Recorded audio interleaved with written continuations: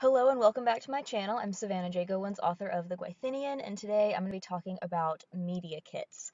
So I'm coming at you guys today from my car because I still don't have an office, and this is literally the only time that I can make a video, and I really want to make this video as soon as I can for you guys because I had some people asking for it. Um, so this is some important information, especially if I have a book coming out soon, so I just wanted to go ahead and get this information about author media kits or press kits to you as soon as I could.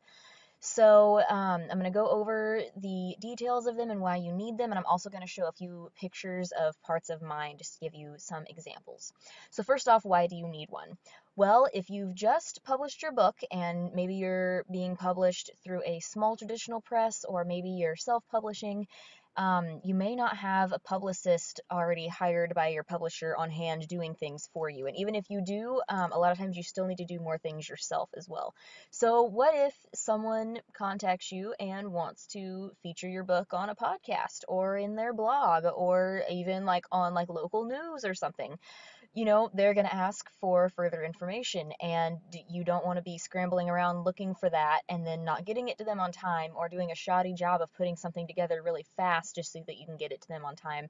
You don't want to be stressed about that, and you don't want to look unprofessional that way and potentially miss an opportunity to, you know, get yourself and your book out there. You really want to take advantage of every opportunity that you can, and having a media kit or a press kit ready to go is definitely really helpful.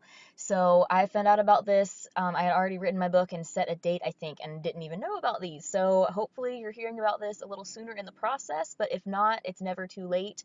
Um, it's you know you can go ahead and start one right now and be ready for the next opportunity that comes knocking. So you want to start with the most relevant information first, which is all about you. So this is going to be your bio. First of all, your name, and, you know, if you're using a pen name, you don't need to include your real name at all. Just, you know, have your pen name out there. Or if you're just using your real name, have that out there exactly as your author name is. For mine, um, my name appears as Savannah J. Goins. Since my title on my book is Savannah J. Goins, that is how it also appears on my media kit. Not Savannah Goins, not Savannah Joe Goins, just Savannah J. Goins. And you want to do the same thing. Be consistent and don't be confusing. Um, after your uh, author name, you're then going to need to put your bio. And it's good to have a few different lengths of bios. So you want to have one that is tweetable, you know, the right size for a tweet. So go ahead and set one at around 280 words or even a little bit less so that they um, so that someone who's going to tweet it has room to type in a sentence about, you know, we're so excited to announce this person and here's the bio. So you might want to go for a little bit under the 280 characters, but have something that is tweet sized and then have your bigger sized blog or have your bigger sized little bio blurb that is going to go on the back of the book cover.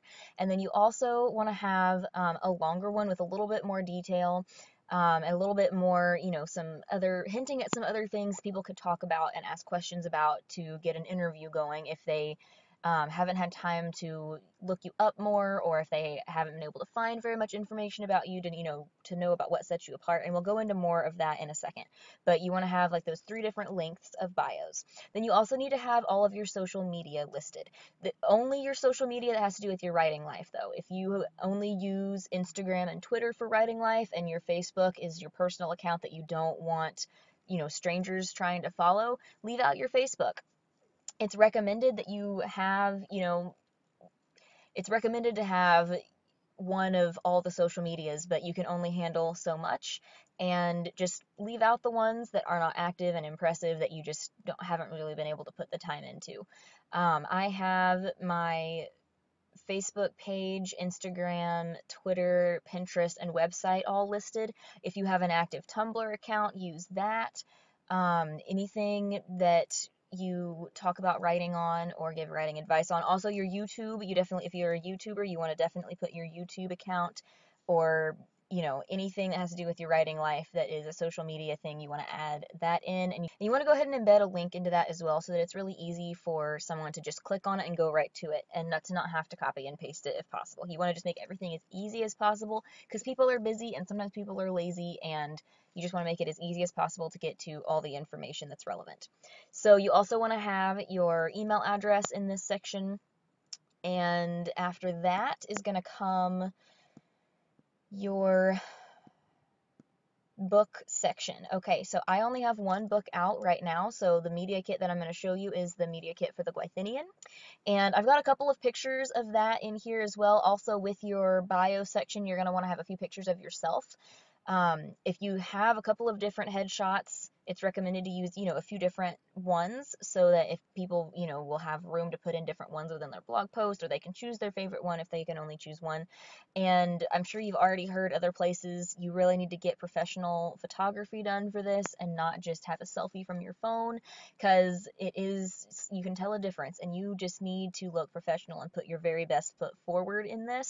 This is definitely a place that you want to have your professional um, author headshot in. Okay, even if you only have one, it's best to have a few, but even if you only have one, you have to have a professional one so that people will take you seriously and you can really use this opportunity to move forward and not lose it or not be able to maximize the benefit from it because you, you know, you don't look professional.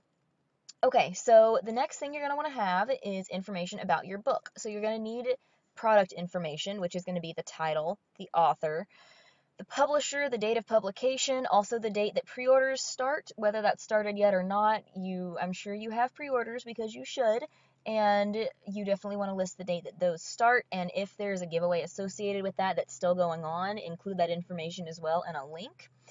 You're also going to need to have the available formats. If it's in hardcover, paperback, whatever, you can list the release dates for those various different ones if you want to, if you have them. If not, the main release date of you know, whatever format is coming out first is fine. If it exists in an audiobook format, you want to list you want to list that. You also then want to have the ISBNs for each format that is available.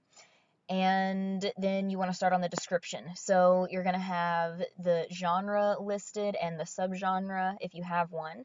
And then you want to have a tweetable sized um, book blurb for this as well. And then your actual book size, no, and then your actual back cover blurb sized book blurb. And I don't include any kind of extended blurb for this, I just have the two. Um, but you can also include the first chapter of the book or an excerpt of the most interesting part or the epigraph or some some little bit of it like that to try to get people's interest and you know make them get really excited about it because if someone who's who's supposed to be promoting you can actually feel excited about your book it's going to show and it's going to help you out a lot. So you definitely want to try to excite them with a couple of good excerpts. The next thing after all of that the next thing is you want to talk about where it's going to be available. So if it's going to be available in Barnes & Noble, that's fantastic. You want to list that. If it's going to be, you know, just available online, list all the places it'll be available online for ordering the physical version or for the um, ebook version, just the digital version. Um, you also want to list if you're going to have any local availability. I have relationships with a lot of really awesome local bookstores that I really love. I'm good friends with their owners, and my book is in all those places. So I also have the names of those places, links to their websites, and their addresses all listed in my media kit as well.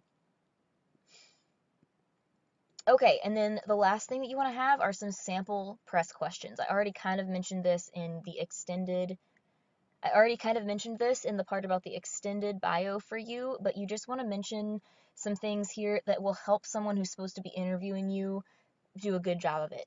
So if if someone is interviewing multiple people a day, it's gonna might be kind of hard to brush up on who everybody is and keep it all straight. So if you can put in some interesting things here that set you apart and make you an extra awesome author or you know whatever it is that makes you a little bit different, a little bit special, a little bit, you know, extra interesting, out of the box, whatever that is you want to add some of those things here um, to encourage good interview questions. So something that people might not know about me if they haven't looked very hard is that I'm a registered vet tech and my non-writing life is spent with animals.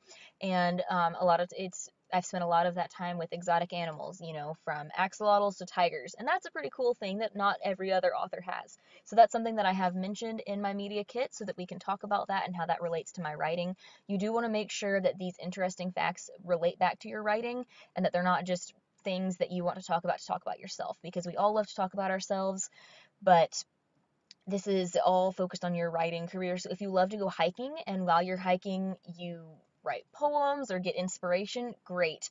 But if you go hiking to get away from writing, I mean, it, it still counts as something that you do, like just to take a break. Um, but just if you don't really need to have more topics, just be be aware of how many topics you're listing and if you really need more and only list the ones that are most important because you don't want to be giving them too many different things to be looking at. You want to just list, you know, the most important, like 3 or 5 things. So I created this as a Word document and exported it as a PDF. And whenever I need to update it, I just delete the PDF, update the Word document, and export it as another PDF. I always send it as a PDF and not as a Word document because it's a little bit more professional to do it that way. And um, It's good to have it saved to your Google Docs or you know some easy way to send it out into the world in case someone emails you and you're like, oh, I'm not going to be home for three more days. I may not have access to my laptop. It's good to have it on your phone so that you can just email that out to somebody immediately if the opportunity arises. So I hope that you have found this video helpful. If you have, please give me a big thumbs up to support my channel. Let me know if you have any questions. Please ask me in the comments or feel free to shoot me an email. It's listed down below. If you found this useful and would like to see some of my other writing and publishing and writer life tips, please um, hit the subscribe button. And if you, I post new videos on Mondays, and if you would like to be notified every time that happens, you can hit the bell icon for the notification. And um, until next Monday, I hope you guys have fun making words happen, and I will see you then. Bye.